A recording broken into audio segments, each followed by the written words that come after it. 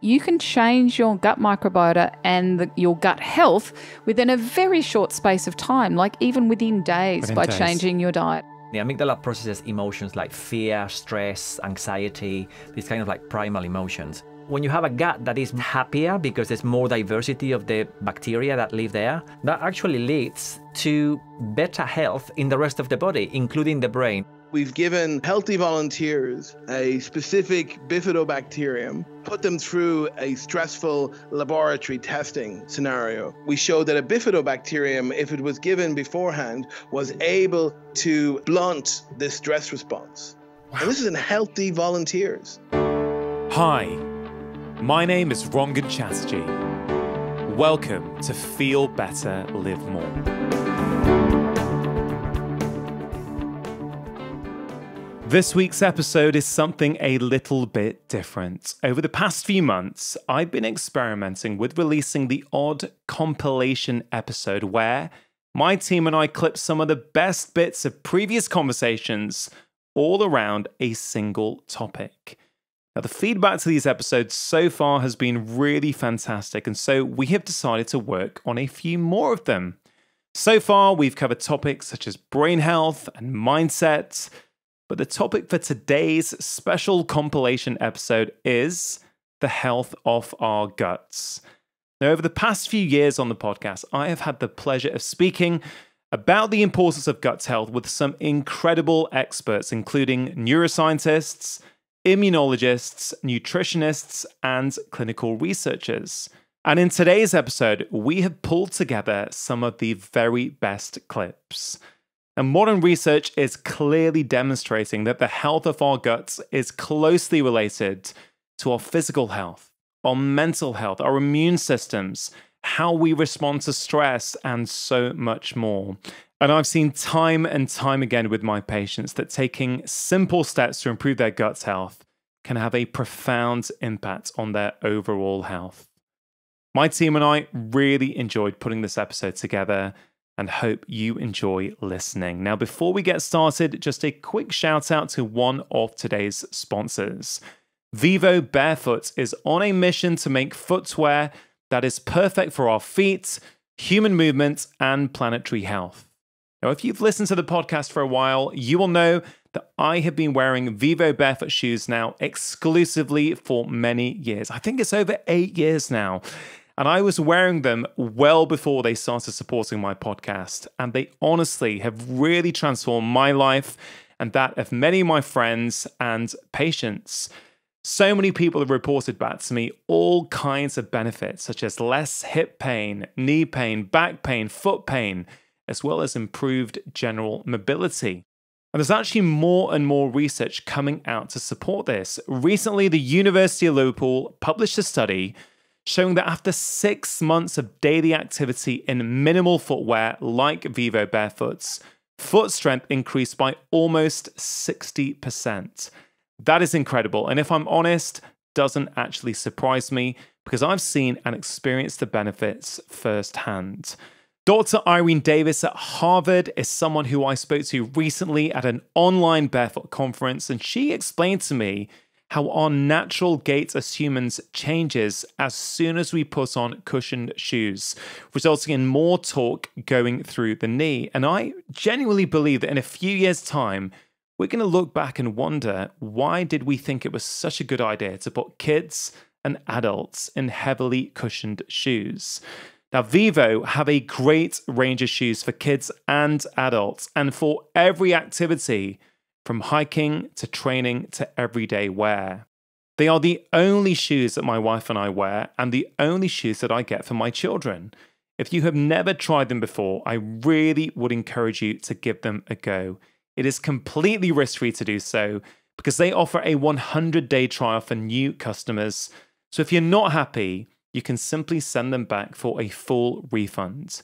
For listeners of my show, they continue to offer a fantastic discount.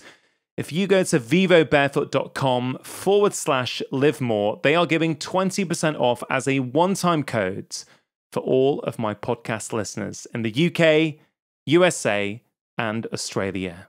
You can get your 20% off code by going to vivobarefoot.com forward slash live more. We begin this episode with the clinical researcher, gut expert, and author Dr. Michael Ruscio. In this clip from episode 63 of the podcast, he spoke about his own personal experience of ill health and the eventual unexpected diagnosis that gave him a very valuable learning experience. I was in college and my focus was exercise kinesiology and, and pre-medical and, and so I was pretty ensconced in, in kind of health and, and medicine and nutrition and because of that I had all the dietary and lifestyle factors pretty dialed in. And I had always felt well throughout my entire life. I was also a college athlete. Yet, all of a sudden, I started having insomnia, brain fog, fatigue, depression. I was having all these symptoms for a reason I could not determine. And it was very disheartening to not feel well because it was the first time in my life I hadn't felt well. But I figured, well, you know, I want to be a doctor. This is what doctors do. So I'll go see a doctor and they'll, they'll figure this out. And I saw three different doctors. And they all said you're really healthy. Your your tests look normal. You've got a good body composition, good blood sugar, good cholesterol. And I remarked, "Well, okay, that's that's great, but can can you offer me any reason why I'm having this insomnia? Why I'm waking up multiple times per night, unable to fall back to sleep? Why uh, why I am tired during the day? Why I have these bouts of brain fog and low mood that I've never had before?" And none of them had an answer. And so that led me to look for other options. And I found a clinician who, who later kind of became my mentor. And he suggested the idea that I may have had an intestinal infection. And I remember thinking, this guy has to be crazy because I didn't have diarrhea. I didn't have abdominal pain. I didn't have any of those symptoms. But at that point, I didn't have anything to lose. So I said, okay, you know, I'll, I'll, I'll look into this and, you know, I'll do the stool test that you're recommending. I did the test. I had an infection in my intestines, an amoeba, actually. And it was treating that infection that led to a resolution of my symptoms. Before I got that diagnosis, I went on the internet, I read about adrenal fatigue, about hypothyroidism, about metal toxicity. And I kind of self diagnosed myself with all these conditions. And I tried different protocols for adrenal support, for thyroid support, um, for metal detox. And I'd see a little flicker of improvement, but nothing really long lasting. Not until I addressed the true cause of the symptoms, which was this infectious, inflammatory issue in my intestines. And it was only by treating that that I saw a long lasting, you know, and, and permanent resolution of my symptoms. And that really taught me that when someone's not feeling well, you want to make sure to look at their gut first. It's it's not a guarantee, but if we were to have an order of operations in terms of what should we do first, after diet and lifestyle, I think it's it's a very tenable recommendation to say do a check for your gut, make sure everything there is squared away because for many people and my clinical experience has has definitely reinforced this as true the issue that's causing their symptoms, even if they're not digestive symptoms, even if it's only joint pain or fatigue or insomnia, could be a problem in their gut modern research is now really establishing this connection. We know of the gut brain connection, the gut skin connection, the gut joint connection, the gut thyroid connection. Uh, so you can have a digestive problem that is not manifesting digestively and is only manifesting in other symptoms outside of the gut. Our food choices affect not only our gut health, but also the health of our brains. And my next guest, the nutritionist and clinical neuroscientist Miguel Mateas, has worked on multiple clinical trials to assess the impact of consuming fermented foods like kefir and sauerkraut on our guts as well as our brains. In this clip from episode 33, we explored the gut brain connection and why diversity is key. What is the link then between the gut and our brain? The gut is connected with the brain through this cable. I like to call it uh, like an internet cable, like a LAN cable. So you've got your Wi-Fi and you've got your LAN cable. You've got this LAN cable that's giving you very powerful connectivity with the brain that's not dependent on the modem going off or anything. You've got that, you know, physical cable connecting the gut and the brain. And the cable is called the vagus nerve. It's a physical cable that if you actually split somebody open, it's there. And it ends up in um, a part of the brain called the amygdala. And the amygdala processes emotions like fear, stress, anxiety, these kind of like primal emotions. So, this having a gut feeling, what we talk about having a gut feeling or having a hunch or having an intuition that starts with butterflies in the stomach, is actually your gut telling you that you've picked up a signal that something is going to happen. When you have a gut that is more that is happier because there's more diversity of the bacteria that live there. The bugs are more varied the uh, the gut wall is working better. So there's less permeability. There's less leaky gut. That actually leads to better health in the rest of the body, including the brain. We all know that a poor diet negatively impacts our physical health, but the effects on our mental health can also be devastating. Professor Felice Jacka is a world leading expert in the field of nutritional psychiatry. And in episode 74, she told me about her groundbreaking research into the link between food and our moods. The SMILES trial that you did, literally, I think, will go down as being one of the most game changing trials in terms of research on diet and mental health. I think it's incredible, and it's helping to give real weight uh, globally to the the notion that our diet can improve our mood and our mental health. I designed it when I was a very early postdoc, the SMILES trial. We recruited people with major clinical depression and we randomly assigned them to get either social support or dietary support. Now, the social support, we already know that that's helpful for people with depression. Yeah. And then the other group saw a clinical dietitian for three months. And that dietitian just worked with those people to help them to gradually make positive changes to their diet, to set some goals, to do it in a way that was feasible and achievable for them, swapping out their, you know, refined carbs, their white flour, white bread, etc., for whole grain versions, um, increasing the amount of vegetables and fruit in their diet, starting to eat more legumes, so your lentils and chickpeas, etc., having some nuts and seeds, eating fish, getting some olive oil into their diet, but also really importantly, reducing the intake of, you know, the junk and processed foods. And at the end of the study, there was just this massive difference in the depression scores. And we were just completely blown away. How big a difference? Well, uh, to put it into, a, I guess, a, a, meaningful context, more than 30% of the people in the dietary group achieved what we would call full remission, where they just weren't depressed at all anymore. And that was compared to about 8% in the social support group. So, hold on, that, we, we just got to pause there because that is absolutely remarkable. You, you were talking about people who have got moderate or severe depression. Mm-hmm. If you change your diet, within 12 weeks, you got above a 30% remission rate in symptoms mm. of depression. That is absolutely staggering.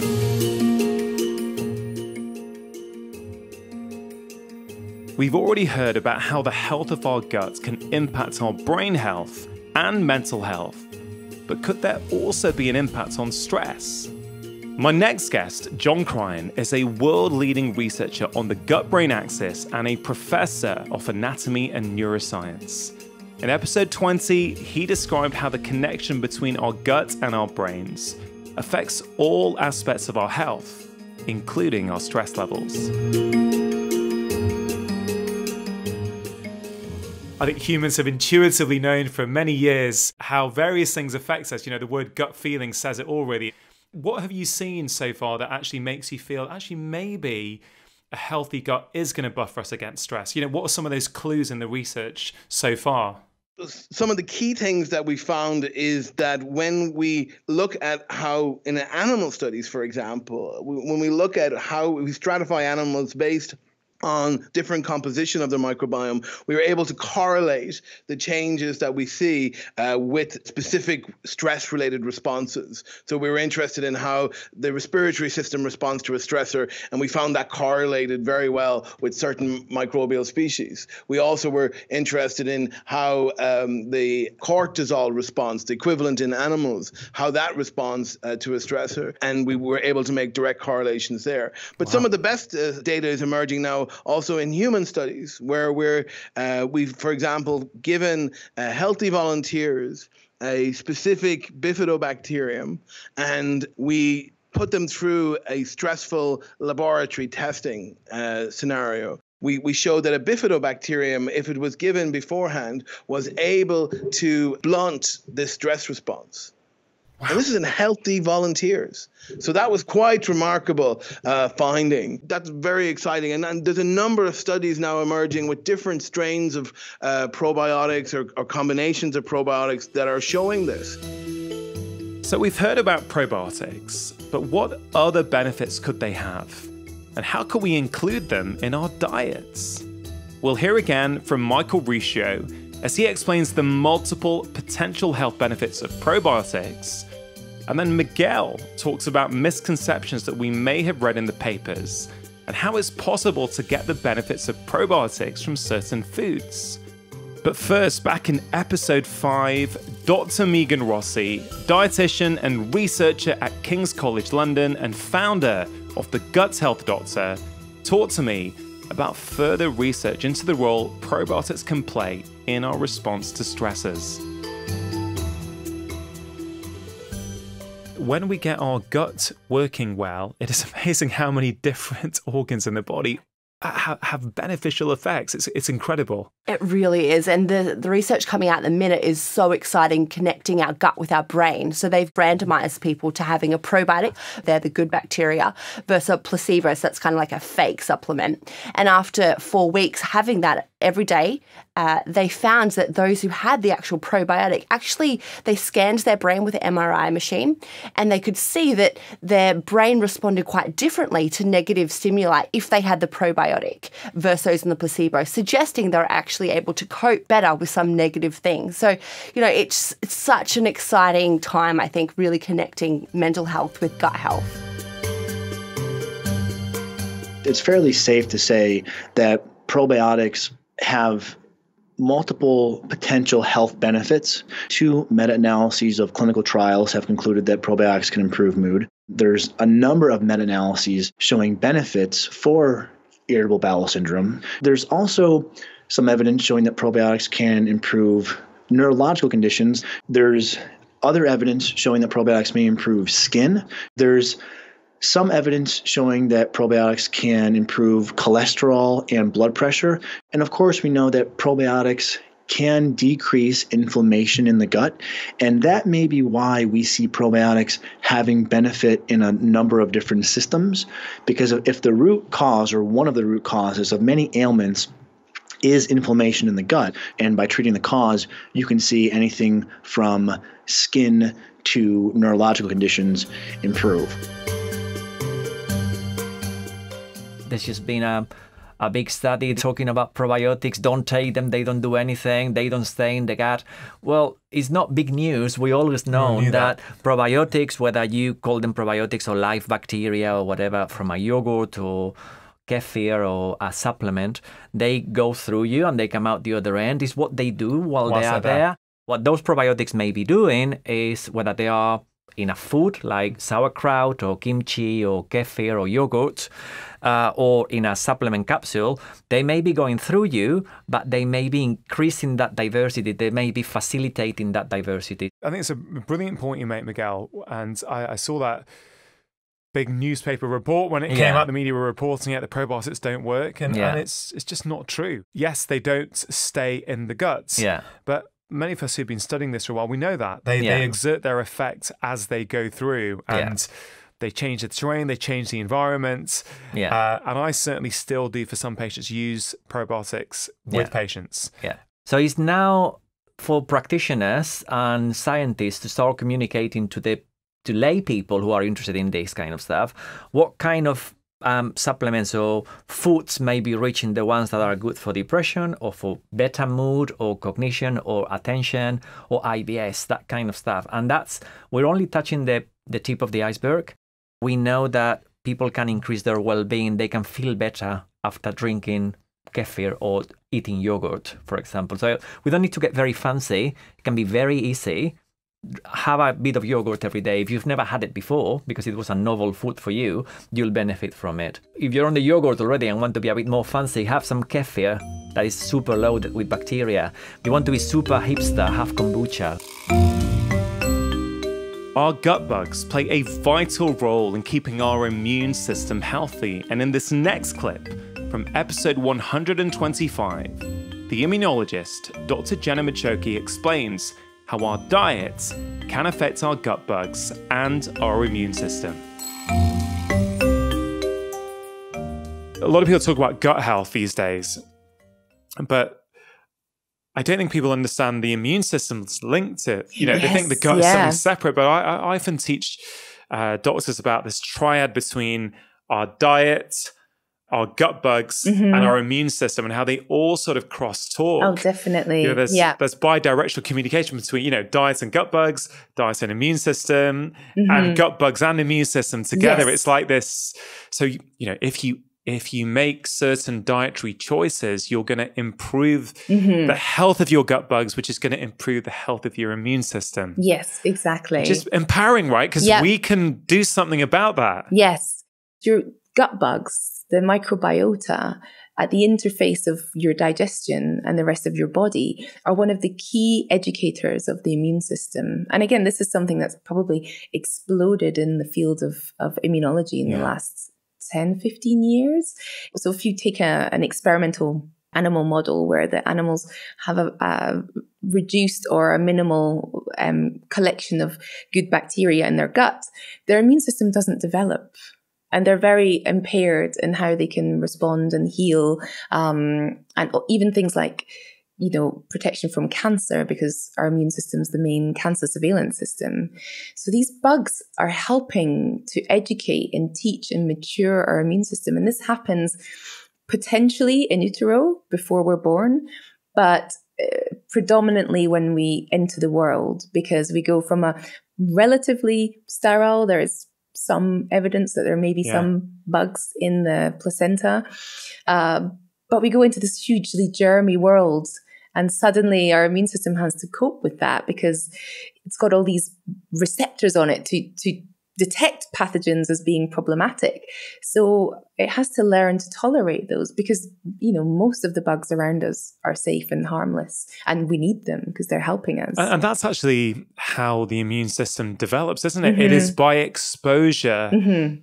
to the environment around it, to exactly. the bugs around it to sort of give it that sort of ongoing education. Yeah. so it starts to learn oh i respond to this. I yeah. don't need to respond to that. Exactly. Um, i often say that you know the immune system's made it's not born. There's maybe a percentage in the genetics that we inherit but then it's made it's built throughout our life and it changes throughout our life. So that's a lovely idea. It's yeah. made not born. We can we can build and we can sort of develop it mm-hmm. the way we want to if we give it if the we, right yeah. inputs. inputs. Yeah.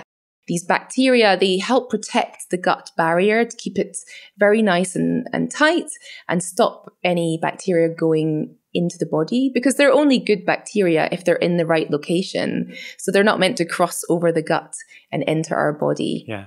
Um, because then they, they become a problem. But one of the biggest things that they're doing to help our immune system is they're they're eating our foods and I often think your diet's only as good as your microbiota in your gut because yeah. they are they're the interface. They're eating your food. They're helping you to produce these vitamins and minerals from your diet, but they're also producing these postbiotics. Um, and people might have heard of prebiotics and probiotics, but postbiotics are basically the metabolic waste of the bugs in your gut. So they're producing stuff that is their kind of you know waste product of eating your food like short chain fatty acids short chain fatty acids yeah. is the classic one i i used to work on these when i lived in switzerland um, and looking at how they influence um, inflammation in the gut and beyond.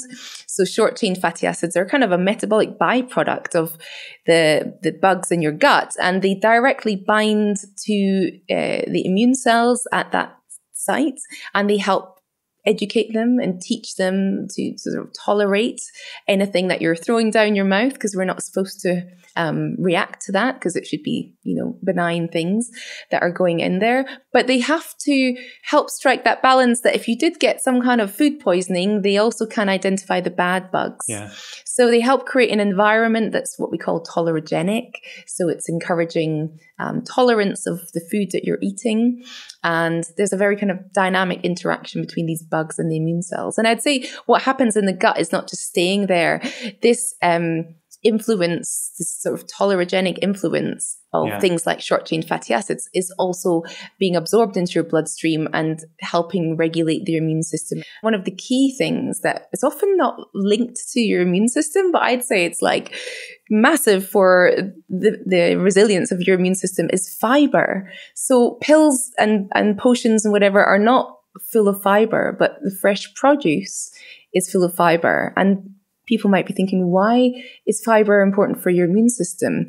Different bugs need different forms of fiber, and it, we find it in all the plant based foods. So it's not just the fruits and vegetables, nuts and seeds, legumes, beans, pulses, and, and whole grains. Yeah. And it's about trying to bring in the diversity. I think in the last few years, there's a, a publication about the sort of uh, trying to get 30 different plant-based foods Yeah. into your diet because it's Per it's week. about per week yeah because it's about the diversity But that also it's that includes, I think, lentils and Mhm. nuts. Yeah. uh, you know, and you know, I, I think it's very achievable. Yeah. once people have it in their mind, exactly to, yeah to do it. and they're very common in in traditional diets i remember growing up you know my mum would would add lots of different um, grains and beans and pulses to spin things out as she put it so that you Yeah. could make a dish go a lot further and so now that's something that i do as well lots of different colors, lots Mhm. of different diversity of plants is going to help your gut microbiome. It's going to Mhm. help your immune system.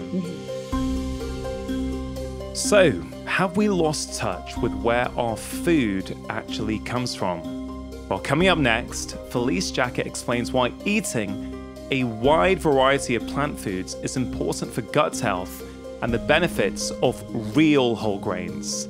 But first, all the way back in episode one, my guest was Tim Spector, Professor of Genetic Epidemiology at King's College London, a medical doctor and author of the fantastic books The Diet Myth and Spoon Fed. Tim told me about the time he spent with the Hadza tribe in Tanzania. Are there some key lessons that people can learn from what the Hadza have done and what you have found there? You don't have to be rich to have a good gut health. These guys have no money. They basically just forage for a few hours a day and they, they're happy to eat what their ancestors have been eating for tens of thousands of years.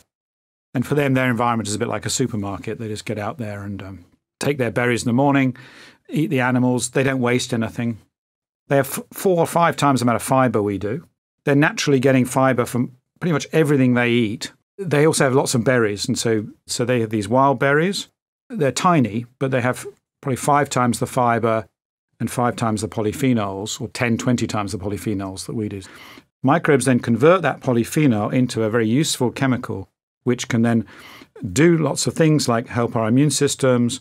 It can relax the vessel walls for your heart.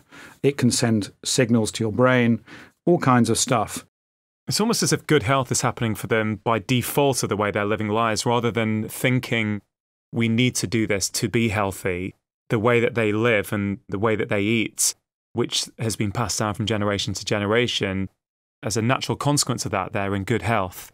Yeah, absolutely. There's no concept really Yeah. of, of health. It's what it is, and that's what they do. These people have been there for at least 50,000 years without moving because they know that around the baobab tree will produce the pods for 11 months a year. The berries grow. It's an easy life. And, and actually, in a way, by chance, it's providing them with, with this perfect balance of food that we perhaps need to re- emulate If we compare, you know, very simplistically, their microbiomes to our Western microbiomes, some studies are suggesting we may have lost about 50% of the diversity. Is that is that fair to say? Is that what you found? Yeah, it's around 40%, but it, it's substantial numbers, and they have many microbes that we just don't see at all in the West. I think fiber is a really important thing because yeah, we we're eating a lot less fiber than these than these tribes are eating, and mm. that particular types of fiber are the best food for these gut bugs that live inside us, right? We don't really know enough about all the fibers at the moment about how they work. But what's clear is that you want a diversity of fiber because not all microbes feed off the same fiber. There are some fibers we know about are useful. There's one called inulin, and the microbes use that as a, a massive sort of energy source. And so choosing foods that are high in inulin in terms of the fiber, we definitely know that's useful. These are things like Jerusalem artichokes, leeks, onions, garlic, a little bit in bananas. So, could it be that in the modern Western world, where the majority of the junk food we're having, a huge part of that is refined and processed carbohydrates. Could it be that when we cut those out, we're removing the junk out of our diets? Is that part of the picture? If you blitz it and, and pasteurize it and it comes out of a plastic microwave packet, you're not going to have that contact with your food. So, real food is important. I think diversity is important. And there's not many examples of really healthy populations that just have four or five ingredients every single day, which is what people who are living existing mainly on supermarket cheap ready meals and processed foods are having. We already know what sort of diet is consistently linked to longevity. And that's a diet that is high in plant foods and high in a diversity of plant foods because the more diverse your diet, the more diverse your gut microbiome, and that seems to be a marker of gut health. The bacteria in your gut, in particular, uh, very, very simply speaking, they break down the fibrous foods that our human enzymes can't break down. So, fiber is found in plant foods, things such as vegetables, fruits, whole grain cereals, legumes, your beans and lentils, etc. So, mm, all sorts of different types of plant foods have dietary fiber. The gut microbes break that down by a, a process of fermentation. And in that process of fermentation, they produce many, many, many metabolites. And it's the production of these metabolites that seems to be so important. And we know that they, for example, interact with every cell in the body. Whole grains have become quite a controversial area in, in the diet wars.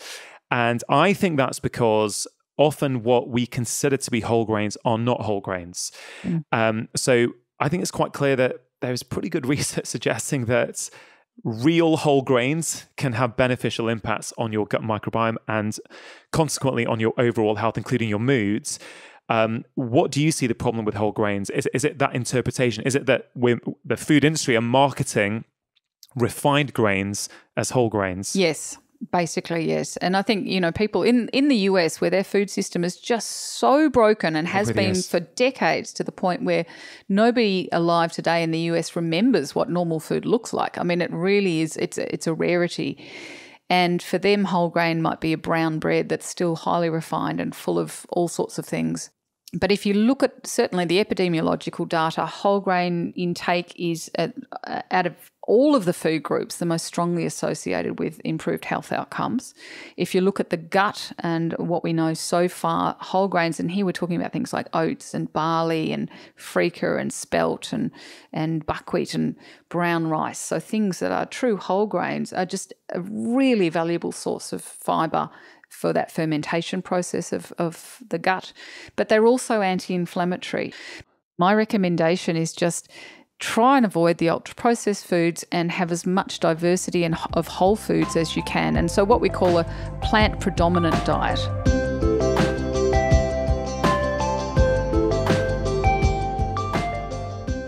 Just taking a quick break to give a shout out to some of today's sponsors who are especially relevant for the health of our guts. The mental wellness app Calm are sponsoring today's show. And as you are finding out in this episode, stress can play havoc with your gut's health and is a key thing to get under control if we want to improve the health of our guts. So, consider this sponsor read as your mental health checkpoint. How are you feeling at the moment? Have you been anxious recently? Have you felt stressed? How has your sleep been? You know, we all struggle from time to time, and it's absolutely okay to need a bit of help. And this is where Calm can really provide support. Calm is the number one mental wellness app to give you the tools that improve the way you feel. You can clear your head with guided daily meditations, improve your focus with Calm's curated music tracks, and drift off to dreamland with Calm's imaginative sleep stories. Over 100 million people around the world use Calm to take care of their minds Sleep more, stress less, live better with Calm. For listeners of the show, Calm is offering a special limited time promotion of 40% off a Calm premium subscription at calm.com forward slash live more, which includes hundreds of hours of programming and new content is added every week. Go to calm.com forward slash live more for 40% off unlimited access to Calm's entire library. That's Calm, C A L M dot com forward slash live more. Athletic Greens are also sponsoring today's show, and as you've already heard, nutrition is very important for the health of our guts. Now, Athletic Greens make one of the most nutrient dense whole food supplements that I have ever come across. And you're hearing already on this episode about the importance of diversity for our gut's health, Athletic Greens contains many different whole food ingredients to really help out in this area, but it also contains vitamins, minerals, digestive enzymes, prebiotics, and probiotics, which of course we are hearing about on the show. Now, in an ideal world, everybody would get all of their nutrition from real whole food. But the truth is, as I have seen time and time again with many of my patients, that many of us struggle to consistently do that. That is why I am a fan of Athletic Greens and take it regularly myself. If you want to take something each morning as an insurance policy to make sure that you are meeting your nutritional needs, I can highly recommend it. For listeners of the show, if you go to athleticgreens.com forward slash live more, you will be able to access a new special offer where you get 10 free travel packs with your subscription. You can check it out at athleticgreens.com forward slash live more.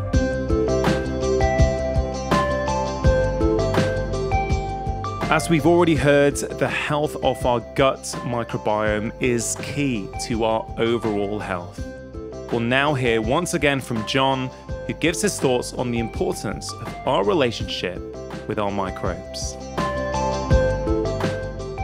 It's very hard not to feel that once we understand the gut microbiome more and more, we'll see that that is really the intersection point for many different conditions.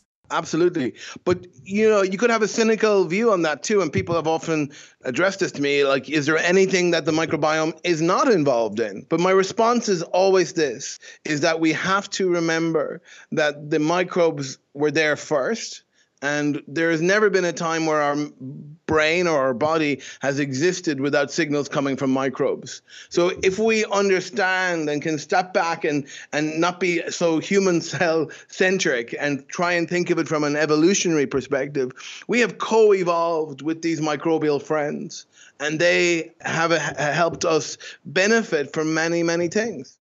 I guess in the last 50 years, because of modern living and a lot of modern practices, we're starting to decimate the populations of those microbes. So, arguably, we're now entering a time where maybe for the first time in our evolutionary history, we might be living without the presence of certain microbes. Professor Sachin Panda of the Salk Institute in California is one of my most popular previous guests on the podcast. He's a world leading expert in the field of circadian rhythms, and in episode 81, he explained how time restricted eating can help reduce inflammation in our guts and improve many other aspects of our health. In this clip, he describes some of the incredible findings of his research. Nearly 50% of adults in Western countries eat for 15 hours or longer. So that means if their first cup of tea with milk and sugar happens at 6 o'clock in the morning, then the last sip of wine or last sip of milk might happen at nine o'clock at night or later. Almost one tenth uh, of our stomach lining is repaired and replaced every night. Wow. And just like you cannot repair a highway when the cars and trucks are moving, we cannot repair our uh, gut if we eat at night. The most obvious circadian rhythm that we all experience is the daily sleep wake cycle. But that's just uh, the tip of the iceberg. And there are many other rhythms that go on inside our body. We wanted to test this very simple idea. If our liver, if our gut is better primed to digest and use these nutrients at certain time, is it better if we align eating time to that time? And we know that when we sleep, our gut is not functioning well, it's not primed for digestion. We did a simple experiment where we divided the mice to two groups. One group got to eat this high fat, high sucrose diet whenever they want, and the other group got the same unhealthy diet, but that was aligned to their circadian rhythm. So they ate all that food within eight hours in the first experiment, and then later in 10 to 11 hours. So these two groups of mice were eating the same number of calories from the same food but to our surprise, the mice that ate within 8 to 10 hours were completely protected from all these diseases obesity, type 2 diabetes, fatty liver disease, high cholesterol, and cardiovascular disease. If you align your eating time with your circadian rhythm, when your liver, when your gut is primed to digest that food, has this huge health benefit. Sachin, that's that's just incredible. Just just to highlight there, you're saying that the mice had the same diet, the same amount of calories, simply the time that they had them was restricted. We repeated this experiment three, four times before I could really believe it because this goes right against what we know in nutrition research for the last 150 years.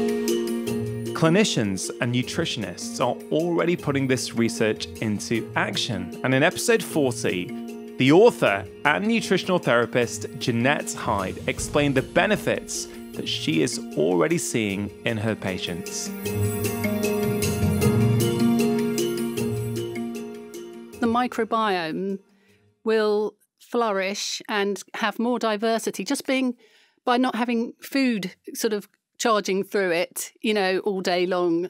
Yeah. And so it, what happens? It's like I say to people, it's like think of it like a lawn. You need to not walk over it for a few hours. Let it have time to, to flourish and thrive. Yeah, that's a great analogy. For the big cases like inflammatory bowel disorder and stuff like that, and also diverticulitis, and and some of the really bad IBS cases, I start by saying do a 16 hour fast with an eight hour window so that's first, eight hours in the daytime where they, would eat yeah, food within. Yeah, yeah, and do that for the first month. So, for instance, let's say somebody tells me they hate breakfast.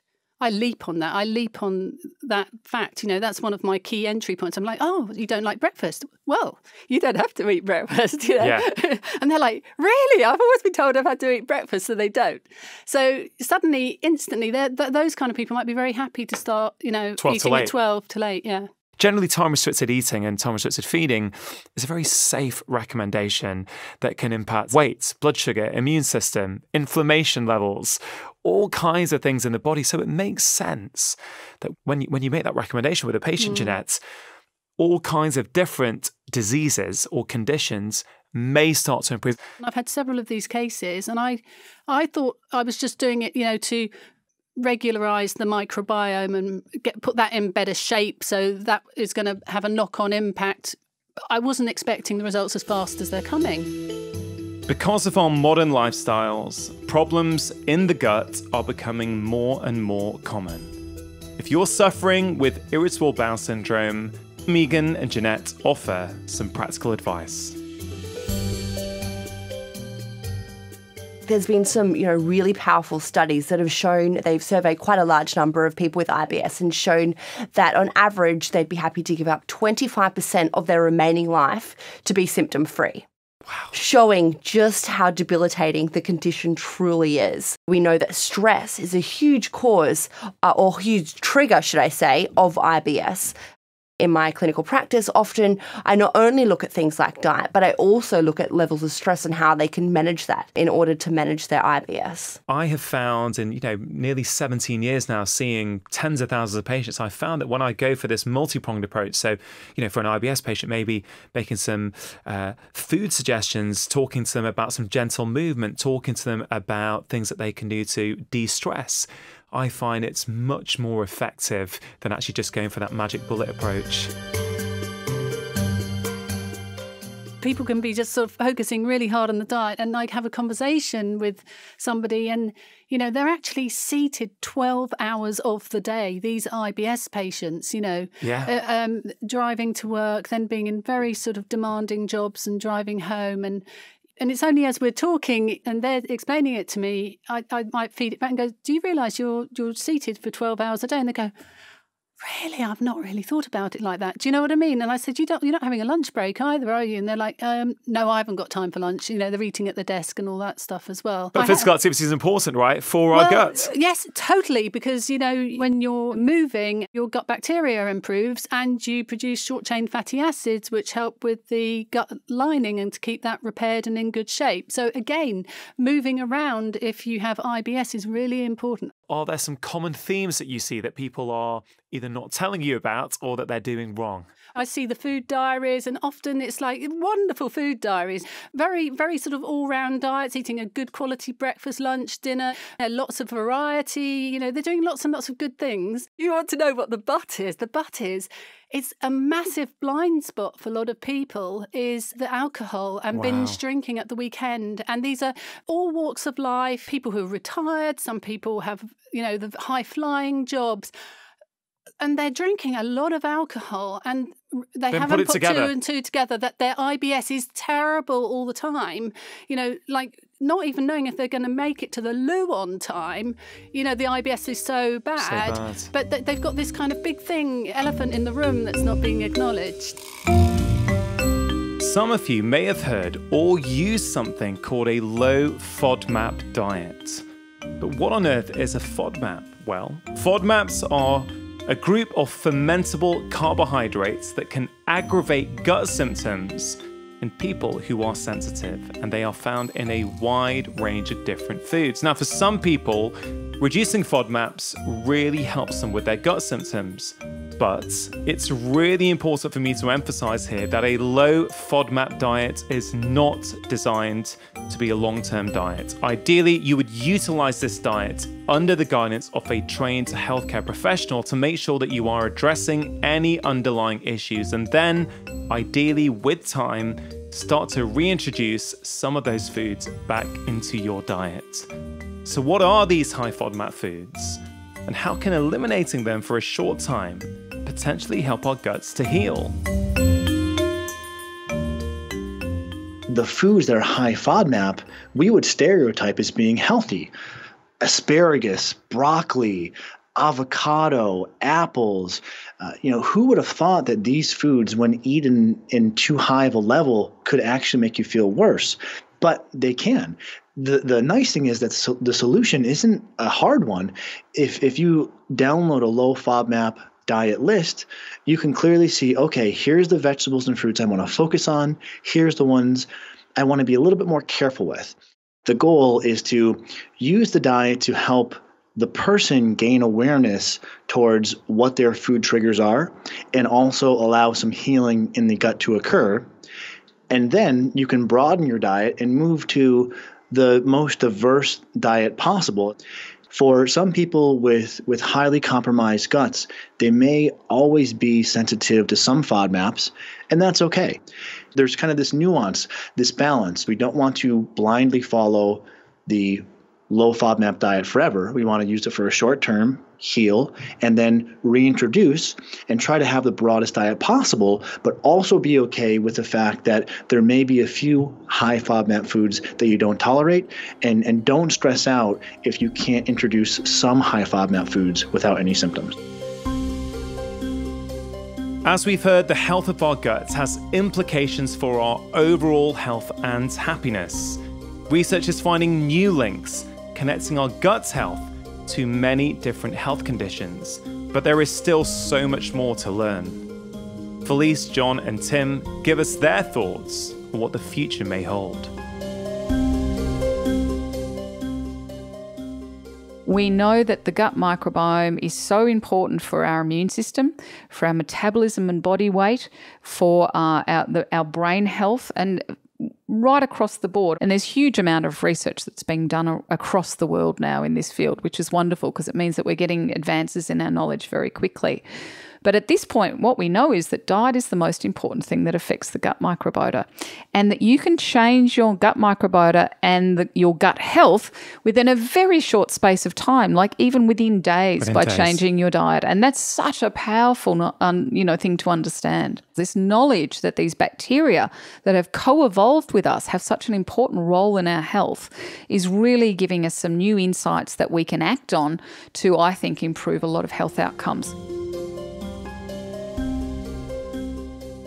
We all have blood tests now. Do you think there will be a point in the future where we all might have our microbiome tested as a sort of baseline to see what we need to improve on? I really think so. I really wow. think so. And and uh, uh as a GP, I think this will be part of your reality uh, within the next five or so years because the costs are coming down, the knowledge about what it means is, is is going up, and so we're able to use large data sets like the um, American Gut Project, which published a huge paper outlining you know what the American microbiome looks like, and if you have enough metadata, so uh, information about po- at a population population level, you can start to ascribe changes. And there they were able to look at specific bacteria that were uh, implicated in certain uh, uh, mental diseases, and particularly in relation to depression. So we're beginning to see more and more of this. I think what we're going to have is in the whole field of nutritional psychiatry moving forward is that we we will be able to target individuals with specific diets that will a suit their symptoms, b suit their microbiomes, uh, and and and hopefully relieve some of their underlying uh, pathology. The progress just in three to five years has been amazing, and we're now starting to see this the microbiome as becoming part of mainstream medicine. I think this is the most exciting bit of science today. It's the most relevant for public health. It's changing every week, and so that's what I love about it. We finish off with some great tips from all of my guests to help you improve your gut health for better physical and mental health. Make sure that if your symptoms are really quite debilitating, you do see your GP and rule out things like celiac disease and inflammatory bowel disease. Then the next thing I think is getting individualized advice. There's so many different therapies out there, um, and each different therapy could actually be beneficial for different types of symptoms. I think uh, for those with IBS with less severe symptoms, one of the big keys is trying to stress less. So look at ways to relax. Make sure when you are eating, you chew your food at least 20 times per mouthful, and, and little simple things like that to kind of go a little bit slower and let your digestive tract kind of relax and get ready for the food that it's about to receive.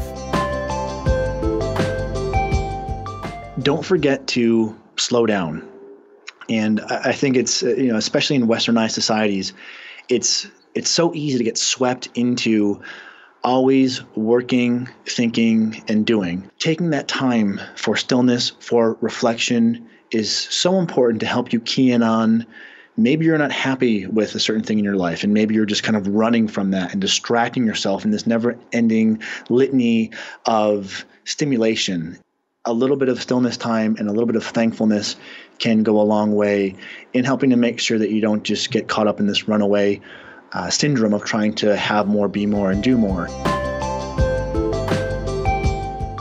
Diversity actually goes further than just dietary diversities. If you have a life that's more diverse in experiences, that's also playing a role in keeping your brain engaged. It's probably going to play a role in keeping you less stressed and because you're going to be less stressed and less anxious, is likely to make you feel happier than if you do the same thing every day. When there is flexibility in the behavior, we adapt better to whatever may come next because we are more flexible, we are more plastic. We can take things that life throws at us in a in a more gracious way. Maybe keep a, a diary about your drinking because I think that a lot of us we don't realise till we actually see it in black and white how much we are drinking alcohol. Yes, and I think that you know, especially in IBS or if you've got a weight issue, it's a big factor. So you know, it's just worth seeing it in black and white. And sometimes that can, you know, you start to have a conversation with yourself about, well, actually, maybe my partner and I we will will try and do this, that, or the other. It's much easier to drink less if you've if you've got support and you know you're supporting each other. try and increase the diversity of the diet. Fermented foods, they can be quite exotic things like kimchi and kefir and uh, kombucha, but also yogurts and sauerkraut and various things like that. We know that they're going to be, have beneficial effects on, on um, the bacteria that we want to see thriving in the gut. We know that increasing uh, the prebiotics, the fibers, the uh, inulins, the green vegetables, that's very clear positive things we can do to our microbiome what you eat really does matter to your mental and brain health in the short term as well as the long term. So pay attention to it, you know, and it doesn't need to be expensive or fussy or difficult. It can just be really basic peasant food you know, uh, cooked up without much in the way of complex recipes, it really does help. And getting regular exercise. If I don't exercise, I don't sleep properly and everything falls apart.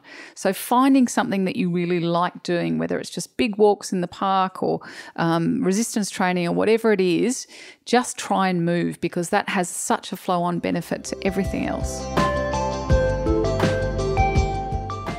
Have much more fiber than you're currently having. Forget all bran, uh, talk about you know diverse fibers. And by getting fibers naturally, it's grains, it's vegetables. It's a variety of fibers that you want. Polyphenols are crucially important, so learn which foods have high polyphenol contents, teach the rest of the family. Go with colors. The rainbow is a nice analogy to think about that. And you'll be surprised at what foods do have these polyphenols. I think not snacking and giving your gut a rest yeah. is crucial. Listen to your body. Most of the world doesn't have breakfast. If you're the kind of person who can skip breakfast, that's the easy way to do it. Above all, embrace diversity. Pick different things to eat, and your microbes will love you for it. Really hope you enjoyed that special compilation episode. Just a quick note to say that I do recognize that some of those tips can be challenging for some people to put into practice. Those who have had long term gut issues can sometimes find that adding in some of those foods recommended can be uncomfortable and cause flare ups and symptoms such as bloating and cramps. So, if you think that may apply to you, it really can be worth seeking out a trained healthcare professional to help you out.